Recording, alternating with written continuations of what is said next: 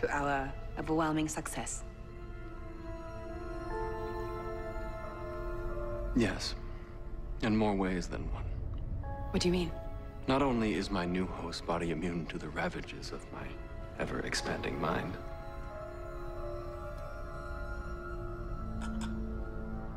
it also holds an ancillary benefit.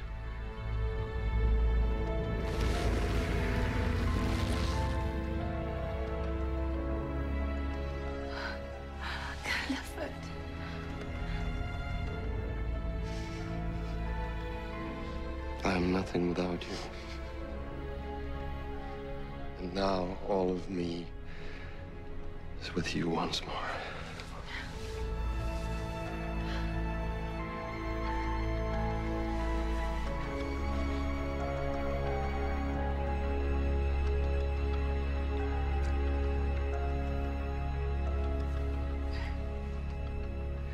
But we must temper our celebration with conviction. Our plans have yet to reach their apex.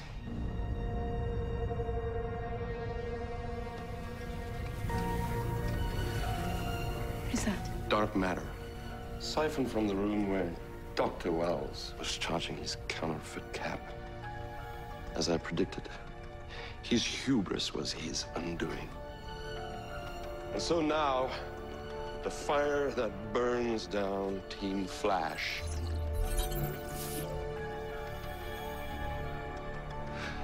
also light the path to the Enlightenment.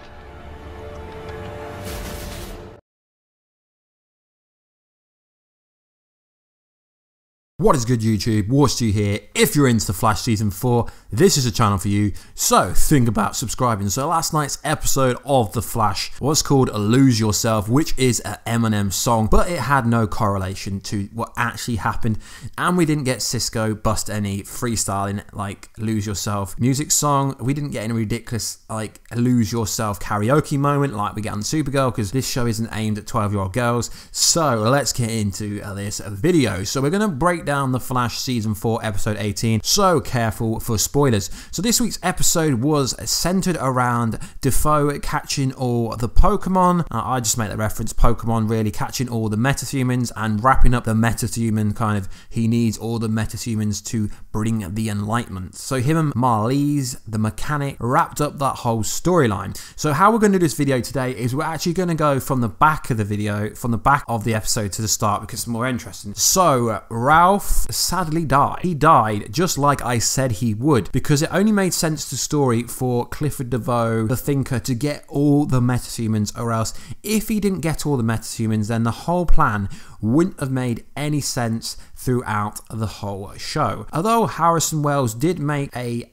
techless device called the Sectum Sphere, I think it was called, to kind of knock out DeVoe. It did actually work, but due to Barry Allen killing, I see, I actually blame Barry Allen. Barry Allen killed Ralph, in my opinion. Why? Because Barry Allen kept saying, you can't kill, you can't kill. So what happened to Reverse Flash then, and Zoom and Savitar? I guess you could say they were erased from the timeline, but a death is a death, in my opinion. So Barry Allen did kill Ralph, in my opinion, because he's like, heroes can't kill, heroes can't kill. Yet Iris West shoots Savitar in the back and then he dies. So I don't really get how it's all right for him to do it than no one else. I think that's one of the kind of the downfalls of this show that the showrunners don't don't let the actual main star, don't let the Flash kill anyone because he never kills anyone in the comics. Oh wait, he does. And the the show never lets him run back in time anymore. It's like a safe spot where no, a speedster can't run back in time because we did the whole Flashpoint storyline, so it would create a whole new story. So Ralph died, but how they did it was pretty cool. They did it in such a cool way where where when Ralph turned into New DeVoe, he had a speech like you taught him well, and we kind of got the foreshadowing early in the episode where we got a flashback to him being a douche, not paying his bus fare. But ultimately, Ralph died, and he could have taken out DeVoe. He had DeVoe knocked down, but he decided to put him in, stupidly put him in the metahuman dampening cuffs, which are based on technology. So he used the Kilgore. But what was actually something pretty cool was I didn't see this coming. Is he took Killer Frost's powers.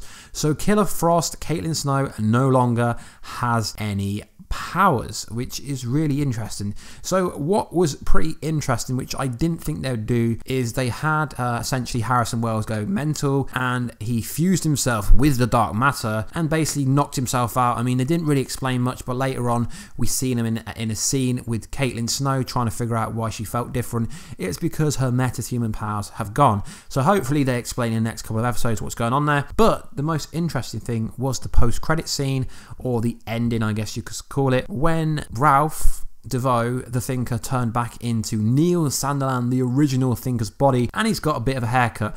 But he predicted that, that exactly that Harrison Wells' downfall would be he'd get obsessed with power. And then we've seen the plan all along was to get some dark matter and he going to bring the Enlightenment. Although it's not obvious what they're going to do, it looks like it's some massive generator or I don't know. It's really hard to make out what it actually is. There being an image over the screen now, so let me know in the comment box down below. It looks like some massive power generator that's going to release something. Um, I can't see it being a case of them releasing the dark matter onto Central City and everyone turning into species. I think it's to do with making everyone smarter because he was a teacher. He wanted to teach people. He wanted to make people better. Better. So although he's been quite evil in the overall plan. I don't think his plan is actually evil overall, which is kind of interesting to me, at least. So whether Harrison Wells is going to be turned into the Reverse Flash is neither here or there. But it was pretty interesting, and overall, I did actually really start to like Ralph in this episode. And then ultimately, they Barry Allen killed him off, in my opinion. I know people will disagree with this, but it was his fault. He could have killed DeVoe, but he didn't. But what was interesting is we found out that Edwin Gauss got them into the actual thinker layer, but the thinker predicted this and he foreshadowed, he forecasted everything. So the thinker might be like the boring, as I call him, the boring thinker. He might be a boring villain, but he actually is pretty smart. So now we know that the pocket dimension can be re reached via other people's abilities, but now seeing that the Thinker has Edwin Gauss inside him as well, there's no way for them to get in the thinking layer at all now, and now they are two members down because although they've got Caitlin Snow, they've got like the scientist inside her, they don't have Killer Frost abilities, they don't have Ralph. So Team Flash are getting smaller and smaller as it goes along. So guys, let me know in the comment box down below, do you think Barry Allen was the cause of Ralph's death? I really think it's all Ralph's, sorry, I really think it's all Barry Allen's fault because they pre keep preaching on you can't kill anyone. Why can't a, why can't a speedster kill someone because they turn into Reverse Flash?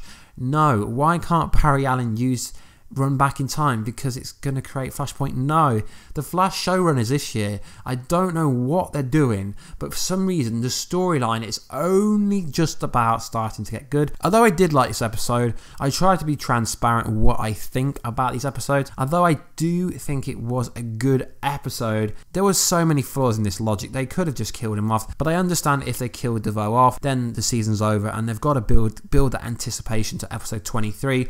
So hopefully we will get more more Gideon scenes. It was interesting that Gideon tried to stop Harrison Wells saying, You're going past the parameters that you set up. He's like, No, maximum power.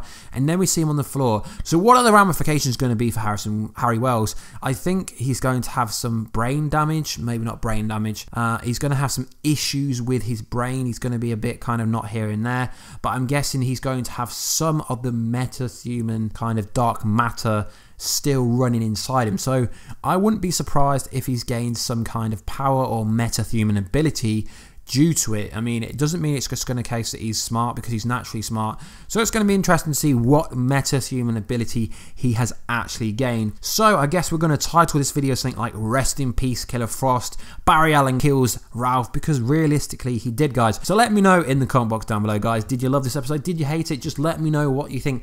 Are you happy that Neil Sandiland is back? But spoiler warning, Ralph is back on set. The actor who plays Ralph is back in Vancouver. So we are going to see him back in episode 23, which is the finale, which is called We Are the Flash. So let me know, guys. Do you think he's go- he's gone forever? Do you think they could realistically? It is a comic book show they could bring back. And what is DeVoe's plan? Is it being revealed now? We know it includes dark matter. What is he going to try and engage? I mean, we can see some plans, but realistically, we can't really see much. And is Marlize the mechanic going to be his downfall? Is she going to betray him?